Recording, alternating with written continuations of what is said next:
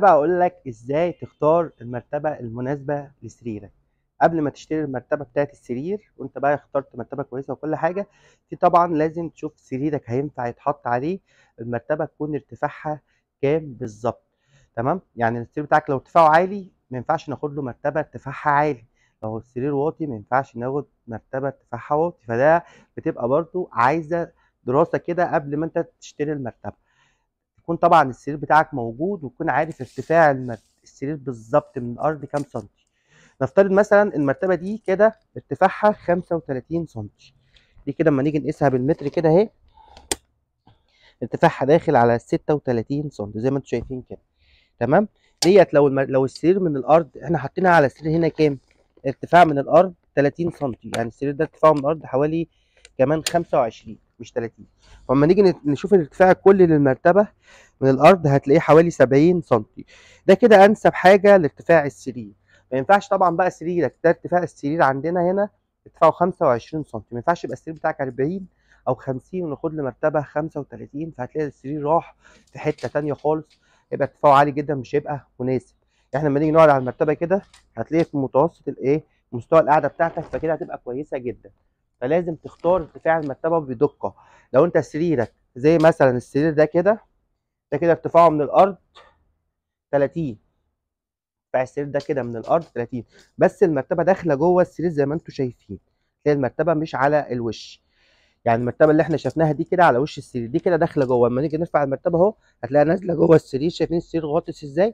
فالجزء ده كده غاطس يبقى انت كده لو السرير مثلا غاطس ده كده غاطس حوالي 7 سم تمام؟ في سراير تانية بتبقى غاطسه بس المرتبة غاطسه جوه السرير 10 سم تمام؟ فده ممكن تاخد لها عادي مرتبة ارتفاعها عالي. فأنت لو أنت حابب تجيب مرتبة ارتفاع عالي 35 سم على أساس إن هي تبقى مريحة بالنسبة لك أو زي بتاع الفنادق فقبل ما تجيب السرير تمام؟ تختار المرتبة وتقول للي أنت هتجيب من عنده السرير أنا عايز السرير يكون المرتبة هتخش جوه السرير أو يعمل لك المرتبة غطسة.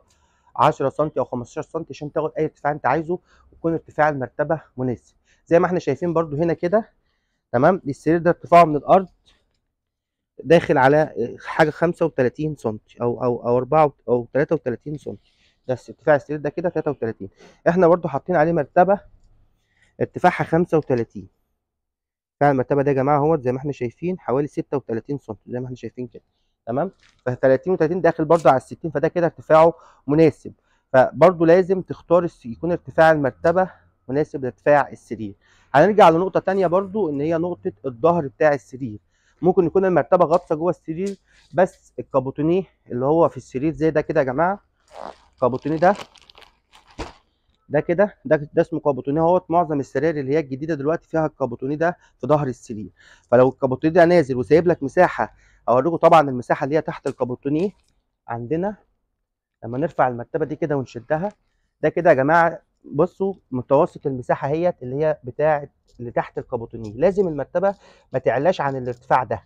يعني يبقى آخرها تحت الكابوتونيه ده عشان طبعا لو انت عليتها هتأثر لك المرتبه مثلا المرتبه ال standard 195 أو مترين لازم تاخدها 190 أو 185 عشان خاطر الكابوتونيه هيزق المرتبه لقدام وهتبوظ لك شكل السرير الفارما اللي انت عاملها. فلما نيجي نقيس بقى كده إحنا عايزين نقيس دلوقتي المرتبه بتاعتنا نشوف ارتفاعها هيبقى كام بالظبط. نشوف الأول ظهر السرير اللي هو شكل كده ونشوف الكابوتونيه هل الكابوتونيه ده الارتفاع اللي تحت الكابوتونيه اللي هو المسافة دي يا جماعة من هنا كده لحد تحت الكابوتونيه هنا. نقيسها بالمتر زي ما إحنا بنقيس كده بالظبط. اهو هتلاقيها ارتفاعها 30 سم اهي.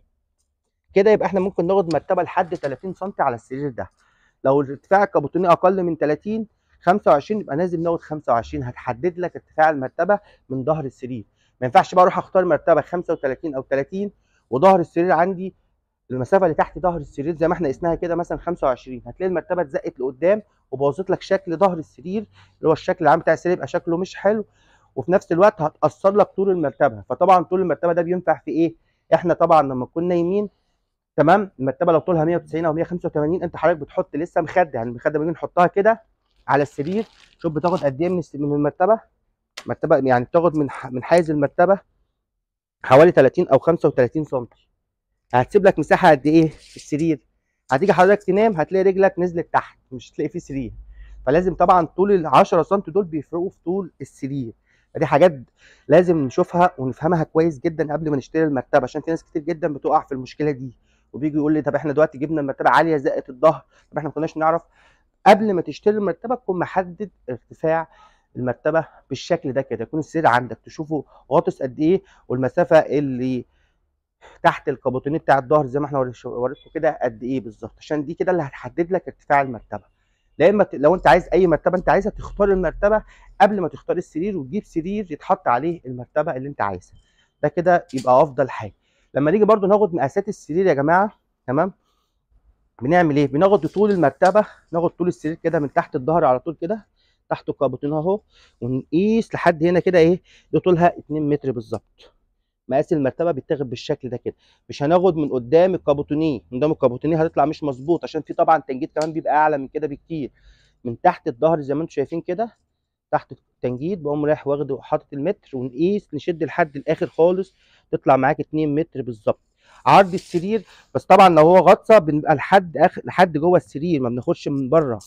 المرتبة طالما هتغطس جوه السرير بناخد حيز المرتبة لحد هنا كده كده يا جماعة بالشكل ده. آخر المتر بيبقى موجود هنا كده. طول مثلا 2 متر 195 بتبقى لحد جوه في الجزئية دي كده. ما ناخدش المسافة دي معانا عشان دي كده كده ملهاش دعوة. ده كده حيز كده محطوط في المرتبة عشان يمسك المرتبة ما تتحركش. عرض السرير بيتاخد برده من جوه لجوه. طالما المرتبة هتغطس جوه السرير زي ما إحنا شايفين كده هنشيلها خالص اهو. هنحط عايزين ناخد عرض عرض السرير بنحط السرير المتر جوه كده. تمام؟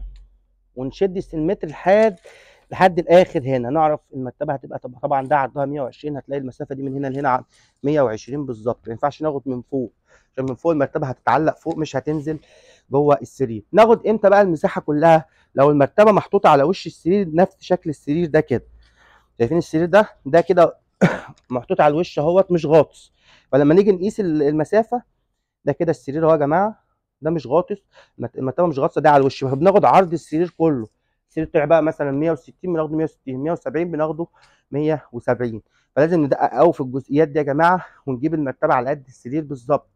فعشان المرتبة مثلا السرير يبقى طوله مترين ونجيبها 195 هتلاقيها معاك مش مريحة أو يعني المرتبة هتلاقيها بتتحرك في السرير ومش هتريحك. آه بالنسبة لل لازم المقاس يبقى مظبوط بالظبط. عرض السرير 160 نجيبه 160 170 نجيبه 170 ما نجيبش مرتبة قصيرة ولا طويلة عن السرير. دعمونا دايما ب like و share واشتراك في القناة عشان لكم على كل جديد. تحياتي لكم جميعا إبراهيم مكاوي